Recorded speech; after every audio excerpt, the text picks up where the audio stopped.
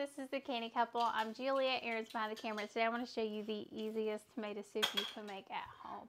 But before we get started, I would really appreciate it if you hit the like button. And also, it would be wonderful if you shared your tomato soup recipes in the comments below. We would love to hear them. So, tomato soup is a staple in our home in the wintertime. That's putting staple. it lightly. Aaron loves it. Um, so we have it a lot, and I've always made it homemade. I don't think I've. I mean, we buy the cans, but I, we don't eat them anymore.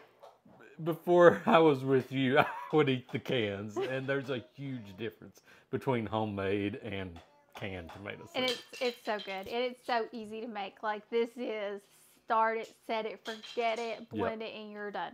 So we're going to start with a little bit of fat. So I'm using a fourth of a stick of butter here. Got my butter going. We'll get that started. And then I'm going to take some minced garlic. I always keep minced garlic on hand. You can use your homegrown garlic, but I like the minced garlic for this. It's always so good. We're just going to get a spoonful. I'm doing a smaller batch because this is lunch for us this week. And I always have to be careful. I always have to be very careful. I can overdo the garlic. I have before. So um, we're just doing a little bit there.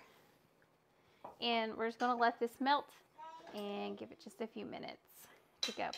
But while this is melting, we would really appreciate it if you like what we do and you want to see more from us to really appreciate if you would subscribe to our channel. Um, means a lot to us. It really does. I'm smoking a little bit because it's it's going. Oh, it's it's the pot. It is the pot. So, how do we eat this? We this is dinner. We this is lunch. I feel like tomato soup is considered like a very simple food, but you could really elevate it, and what elevates it are the spices that you use. So we have found basil is like the best spice you could ever, ever use in yeah. tomato soup. It's probably where I use it the most, that and our spicy ziti. If you haven't seen that recipe, please go check out our first pantry challenge uh, video. I think that's the one it's on. So it's starting to cook here. We're just going to give it a quick stir. You can kind of see starting to get brown. It's going to look really, really nice here in a minute. So we're just going to let that butter melt and start getting that garlic just a tiny bit toasty. You don't want to overcook the garlic here. The thing is just to get the butter melted before we add the tomatoes. But this is such an easy recipe, it's really set and forget, isn't it? Yeah, yeah. I, I mean, and then, uh, you know, having soup all week, you know, in a in a colder time, it, it makes you feel warmer even too. If you have a wood stove, this would be great to do on your wood stove. Yep. We have not lit ours up yet because our weather right now has been nuts. It's been, you know, 71 day, 30 the next, 71 day, 30 so it, we've not had, we're not consistently at that place where we would actually start ours. Okay, this is what I'm looking for. You can see everything's melty. That butter is getting infused with the garlic. It's perfect. And this pot is clean. That black is just, when I first got this pot, I made a chicken bog and yeah, it's not coming out. So I'm using two quarts of tomatoes that I home can. So that's 64 ounces. Um, you can cut this recipe in half to 32, cut the garlic in half. Did probably a good tablespoon of garlic. I'm going to add that in. And I'm going to add in my second one. And normally I would do this with three quarts because I would normally make this for dinner. But for dinner, you'll see it in our video that'll post before this one. Before you put that in there, you do know what you have in your hand, right? Basil. Okay, I thought it said Bailey's. I was no, making it's basil. sure. it's basil. I know what I'm doing. Okay. So I'm gonna put about two two tablespoons of basil in here. That's what makes it taste really good. And you hear my Instapot air. It's getting uh, potato salad, so that's what's going in the Instapot. And I'm gonna pour about a half a cup to a cup of milk in here. You can use chicken broth. You can use whatever you would like. I'm going to turn it down to a medium-low heat. Give it a good stir. And we'll put the lid on it we're going to forget it. We're going to let it cook for about an hour or two and then we will come back and I will show you the final step to making this easy, simple, frugal homemade tomato soup. So we're back. The soup has been simmering for I'd say about an hour, hour and a half. You see how pretty that looks? Tomatoes just look absolutely beautiful. Now it's time to finish it. And to finish it, all I do is I take a thickener.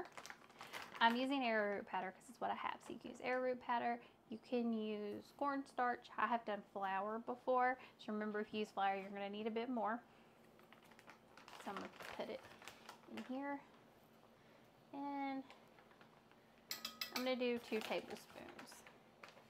Well, one and a half. I don't want it too thick. We still want it to be a soup. And then I'm going to take my stick blender, which is my most favorite thing. And if you hear my Instapot, it's cooking potatoes. Um, the stick blender has been one of the best things ever. How many of you all use a stick blender? Like almost every week. I use mine every week. And we're going to go slow, so be careful when you stick blend this. I have burnt myself a few times. Don't lift it.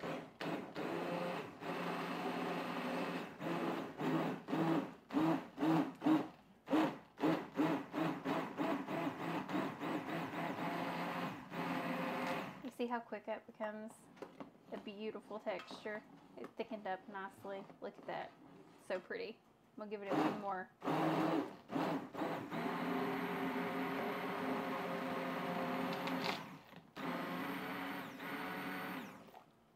There we go. So pretty. And Aaron can't wait to try it. Because Aaron's the taste tester. Hey, anytime we have tomato soup, I'll always be the taste tester. All right. Well, I'm going to put some in a bowl for him and we'll be right back to let you all see how it tastes. So we're back with the taste tester.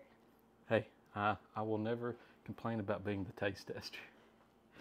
Okay, so, Unless it's chicken and dumplings. so she just gave me a small helping since it's not time to eat it right now. Mmm. Oh gosh, that's so good. Oh gosh, I always love tomato soup. Oh, that's so good. And homemade tomato soup. Hmm. It's simple, it's easy, it's frugal, and it's amazing.